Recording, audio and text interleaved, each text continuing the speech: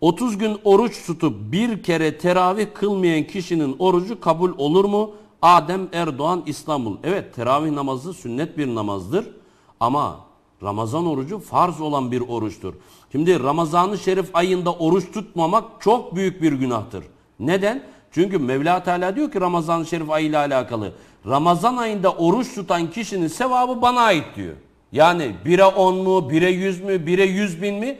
Ona siz karar vermezsiniz. Onun sevabı bende. Çünkü neden? Farz. Bu orucun sevabı bende diyor.